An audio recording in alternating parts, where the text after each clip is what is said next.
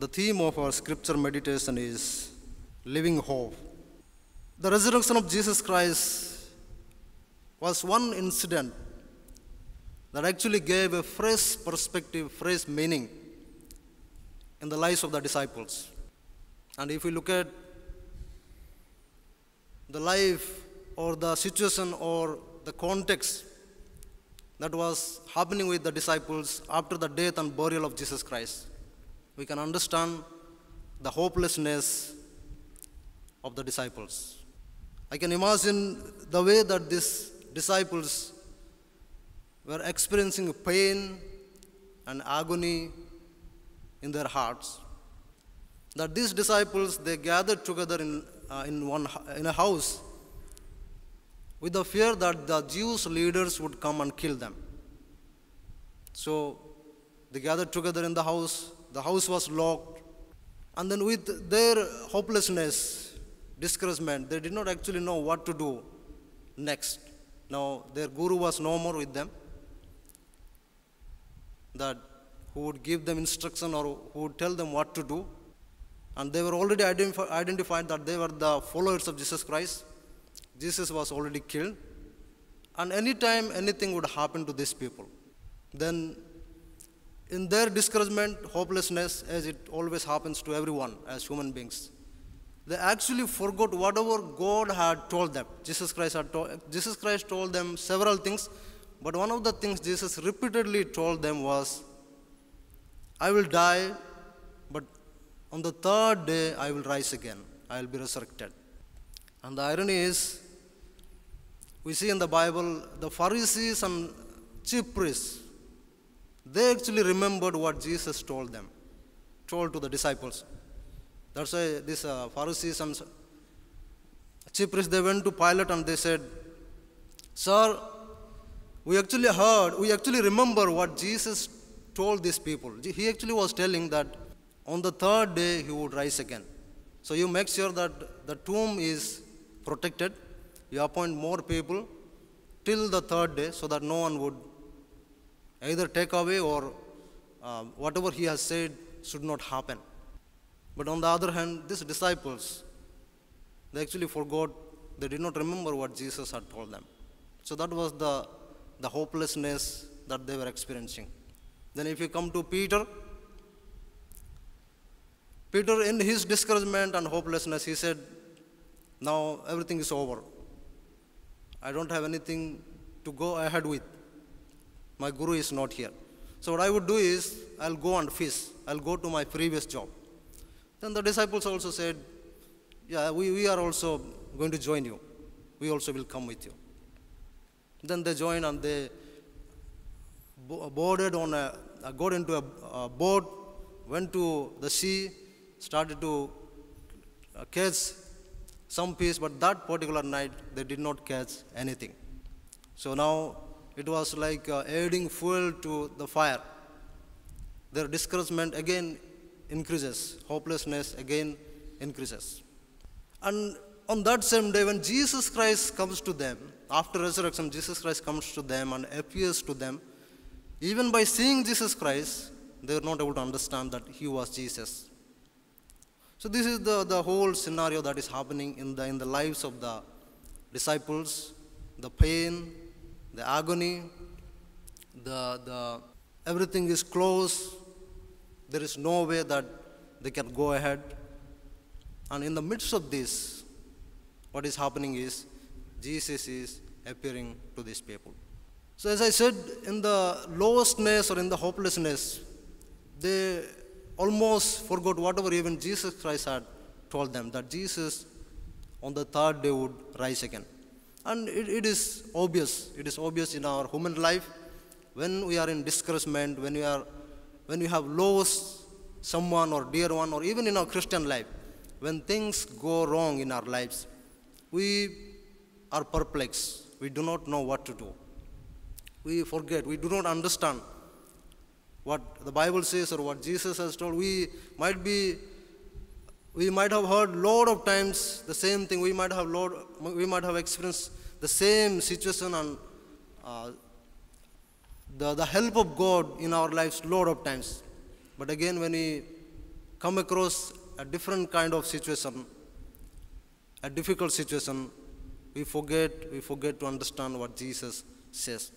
And in this particular situation, was it the end of their life for the believers, uh, for the disciples, when they now they have no guru to lead them, and now they did not know what to do, and many of them are trying to go back to their previous job. Was it the last thing, or was it over for them? And obviously, as the Bible makes it very clear that, and we also read in First Peter that the, the Lord, in His mercy, after His resur- resurrection, goes to them, appears to the disciples, and confirms His resurrection and says, I am alive. So He says, I am alive. So the second thing that we see, the first thing we actually saw was the, the, the, the situation or the hopelessness that these disciples were in. But even in the midst of this hopelessness, this situation, Jesus, our gracious Jesus, our Lord, who himself takes the initiative to go to these people and rekindle their hope. They had lost their hope, their hope was shattered, but Jesus takes the initiative to rekindle their hope. He, as these people were gathered together, disciples, not because not probably for praying, but it was because of the fear of the, the Jewish leaders. And Jesus appears before them and says, Peace be with you all.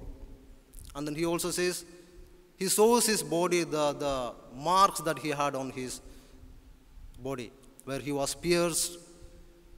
See, he, he shows them, and by seeing this one, these disciples were overjoyed. And they actually believed that Jesus was alive. But at this point of time, we also know that there was one disciple who was missing, who was not there. And he is Apostle Thomas. And when these disciples told Apostle Thomas that we saw our, our Guru, our, our God, our Lord, he is alive, this disciple said, No, I cannot believe. Unless and until, until I see him and I touch the wounds or the marks, I will never believe him. And the next week, Jesus comes.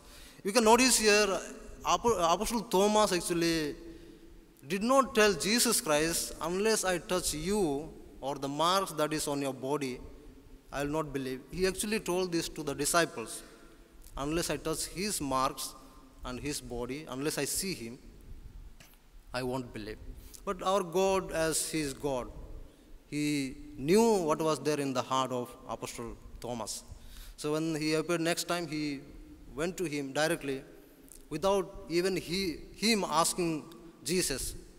He said, Thomas, you want to see my body? You want to see my see the marks on my body? You can see. And of course he says, please don't doubt. And then the comment is that if you believe me without seeing, blessed, blessed are the ones who believe me without seeing. So, my dear uh, friends, brothers and sisters, as in our Christian life, we know we have to walk this Christian life, and sometimes it's not easy. Christian life is not easy in the context that right now we are living. We may have to face a lot of difficulties, lot of challenges, and we will lose our hope. But at the same time, we know that our resurrected Jesus, the Lord, who doesn't sit thinking that, okay, if you do not believe, you go to hell. He, did not, he actually was not upset with Thomas. He was not upset. He did not get angry. All other people believe, but why don't you believe? He did not give up on him. Rather, he showed his compassion and he took, he himself took initiative to invite Thomas and said, Touch me, see my side. I'm alive, I'm resurrected. So, this was the greatest incident or new experience that these disciples they had. And as Jesus Christ gave them the hope of resurrection, he not only appeared to them, he also confirmed that he was alive. And he also confirmed this particular aspect that as I am resurrected, I died and I, on the third day, I rose again. In the same way, as he had already taught them about resurrection, in the same way, you also are going to be rising. You also will be resurrected. So that was the greatest living hope these disciples they could experience or they could directly get from the resurrected Lord. So the third thing that we see from the passage is that Christian hope is rooted in the resurrection of Jesus Christ. The center of Christian life and faith, or the center of Christian hope, is the resurrection of Jesus Christ. And this was the powerful thing for the disciples when they were confirmed that Jesus was alive. And at the same time, they also were confirmed that they also will be alive, they also will be resurrected after their, their death. There is life after death. So they did not, I mean, they were not afraid of anything after this confirmation to follow Jesus Christ. We know these disciples, most of them, except Apostle John, most of them, they gave their lives, they suffered and gave their lives for the sake of their faith and this greatest hope that they had, this living hope that they had. And this hope, this resurrected Jesus Christ was the one actually who was the reason for many other people to come to him. We know James, the brother of our Lord Jesus Christ. So far, he was with Jesus Christ. He witnessed miracles. He told, he heard the teachings of Jesus Christ. But he and his family, all the family members, they never believed Jesus Christ. But after the resurrection and the hope that they, they received, the hope of resurrection of Jesus Christ and their resurrection after their death, James became the follower of Jesus Christ. And he becomes one of the reasons for writing a book and a reason for encouraging believers for generation and generation. In the same way, we also see Apostle Paul. I exactly don't know for what reason he did not have the privilege to directly listen to Jesus Christ when he was in this world. He was probably a contemporary, but the Bible has no record about the reason why Apostle Paul did not get that privilege. But Apostle Paul had an encounter with this resurrected Jesus Christ, the, the resurrected Christ. And that one encounter changes the life of Apostle Paul. So, after meeting Jesus Christ, after rekindling their hope, after talking to them, after counseling them, now Jesus Christ gives them a new responsibility. We, we read in the same passage that we read and gospel according to St. John. So now their hope is rekindled. So now what is the job of these disciples?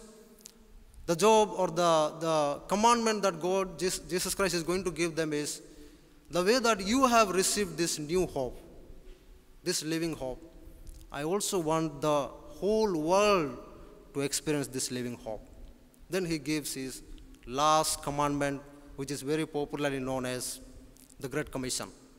And we have in John chapter 20, 21, as the Father has sent me, so I send you. So here he says, as the Father sent me, and what all things I did after coming here, you all have experienced, you all have witnessed. And in the same way, I am sending you.